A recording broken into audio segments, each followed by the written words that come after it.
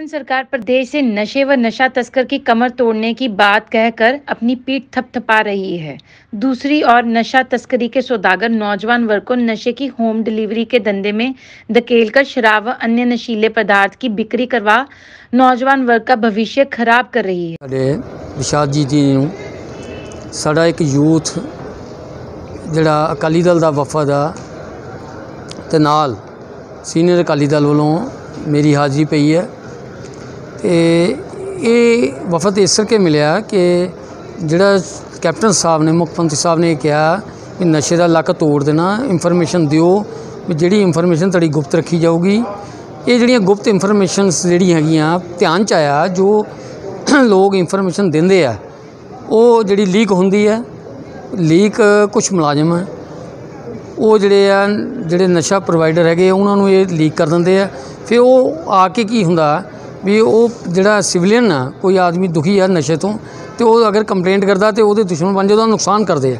ਸੋ ਸਾਡੀ ਐਡਮਿਨਿਸਟ੍ਰੇਸ਼ਨ ਨੂੰ ਅੱਜ ਇੱਕੋ ਮੰਗ ਸੀ, ਉਹ ਇਹ ਸੀ ਵੀ ਕੋਈ ਵੀ ਜਿਹੜੀ ਤੁਹਾਨੂੰ ਇਨਫੋਰਮੇਸ਼ਨ ਆਂਦੀ ਆ, ਉਹਨੂੰ ਬਿਲਕੁਲ ਬਿਲਕੁਲ ਬਕਾਇਦਾ ਉਹਨੂੰ ਜਿਹੜਾ ਹੈ ਰੱਖਿਆ ਜਾਵੇ ਗੁਪਤ।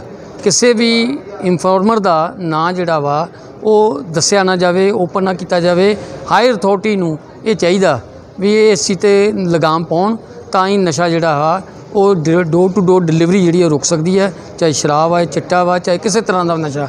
ਨਸ਼ਾ ਰੋਕਣ ਲਈ ਸੰਸੈਰਿਟੀ ਜ਼ਰੂਰੀ ਚਾਹੀਦੀ ਹੈ ਸਰਕਾਰ ਦੀ, ਅਫਸਰਾਂ ਦੀ, ਸਾਰਿਆਂ ਦੀ।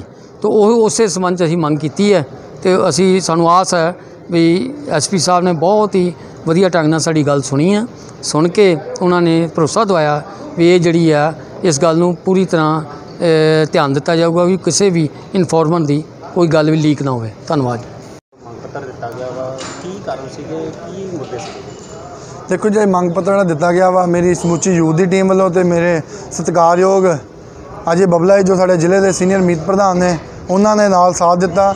ਅਸੀਂ ਮੰਗ ਪੱਤਰ ਦਿੱਤਾ ਉਹਦੇ ਵਿੱਚ ਅਸੀਂ ਦੱਸਿਆ ਐਸਪੀ ਸਾਹਿਬ ਨੂੰ ਕਿ ਜਿਹੜਾ ਕੈਪਟਨ ਸਾਹਿਬ ਵੱਲੋਂ ਕਿਹਾ ਗਿਆ ਸੀਗਾ ਨਸ਼ਾ ਜਿਹੜਾ ਵਾ ਖਤਮ ਕੀਤਾ ਜਾਊ ਪੰਜਾਬ ਦੇ ਵਿੱਚ ਯੂਥ ਨੂੰ ਨਸ਼ੇ ਦੇ ਕੋੜ ਚੋਂ ਕੱਢਿਆ ਜਾਊਗਾ। ਪਰ ਅੱਜ ਸਵਾ ਚਾਰ ਸਾਲ ਬੀਤ ਜਾਣ ਦੇ ਬਾਅਦ ਵੀ ਸਾਡੇ ਕਪੂਰਥਲੇ ਦਾ ਇਹ ਹਾਲ ਆ ਕਿ ਜਿਹੜਾ ਹੋਮ ਡਿਲੀਵਰੀ ਦਿੱਤੀ ਜਾਂਦੀ ਆ दारू ਦੀ। ਸਕੂਟਰੀਆਂ ਹੁੰਦੀਆਂ ਵਾ, ਉਹਨਾਂ ਦੇ ਵਿੱਚ ਰੱਖ ਕੇ ਬੋਤਲਾਂ ਹੋਮ ਡਿਲੀਵਰੀ ਦਿੱਤੀ ਜਾਂਦੀ ਆ। ਜਿਹੜੇ ਤੇ ਠੇਕੇਦਾਰ ਜਿਨ੍ਹਾਂ ਇਹਨਾਂ ਨੇ ਪੈਸਾ ਲਾਇਆ, ਸ਼ਰਾਬ ਦੇ ਟੈਂਡਰ ਲਿੱਤੇ ਆ, ਉਹ ਕਿੱਥੋਂ ਕੰਮ ਕਰ ਲੈਣਗੇ? ਉਹਨਾਂ ਨਾਲ ਜ਼ਿਆਦਾ ਜਿਹੜੀ ਯੂਥ ਆ, ਇਹਨਾਂ ਨੇ ਅੱਜ ਕੱਲ ਜਿਹੜਾ ਵਾ ਧੰਦਾ ਬਣਾਤਾ ਵਾ ਦੋ ਦੋ ਜਿਹੜੀਆਂ ਬੋਤਲਾਂ ਡਿੱਕੀ 'ਚ ਰੱਖ ਕੇ ਹੋਮ ਡਿਲੀਵਰੀ ਕਰਾਈ ਜਾਂਦੀ ਆ। ਮੈਂ ਤੇ ਇੱਕ ਗੱਲ ਪੁੱਛਣਾ ਚਾਹੁੰਦਾ ਕੈਪਟਨ ਸਾਹਿਬ ਨੂੰ ਕਿ ਇੱਕ ਪਾਸੇ ਤੇ ਆਪਾਂ ਕਹਿੰਦੇ ਨਸ਼ੇ ਦਾ ਖਾਤਮਾ ਹੋ ਗਿਆ, ਨਸ਼ੇ ਦਾ ਲੱਕ ਤੋੜ ਦਾਂਗੇ, ਜਿਹੜਾ ਚਿੱਟੇ ਦਾ ਵਪਾਰ ਆ, ਕਪੂਰਥਲੇ 'ਚ ਇੰਨਾ ਚੱਲ ਰਿਹਾ ਵਾ, ਹਰ ਜ- ਨੁੱਕਰ ਜਾਦੇ ਸਲਮ ਏਰੀਏ ਆ, ਉੱਥੇ ਇੰਨਾ ਨਸ਼ੇ ਦਾ ਕਾਰੋਬਾਰ ਚੱਲ ਰਿਹਾ ਵਾ।